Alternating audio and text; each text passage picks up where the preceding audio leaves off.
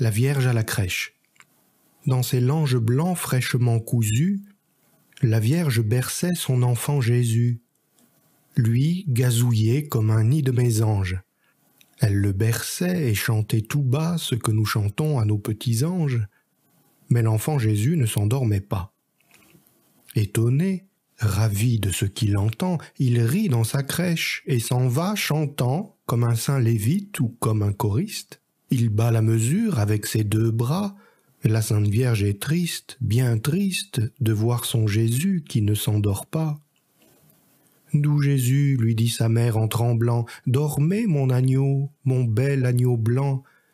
Dormez, il est tard, la lampe est éteinte.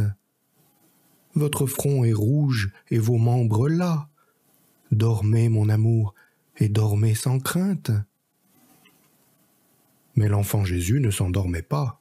Si quelques instants vous vous endormiez, les songes viendraient en vol de ramier et feraient leur nid sous vos deux paupières. Ils viendront.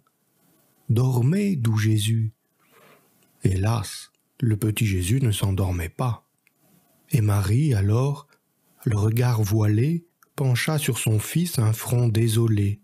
Vous ne dormez pas. Votre mère pleure, votre mère pleure, ô mon bel ami. Des larmes coulaient de ses yeux. Sur l'heure, le petit Jésus s'était endormi.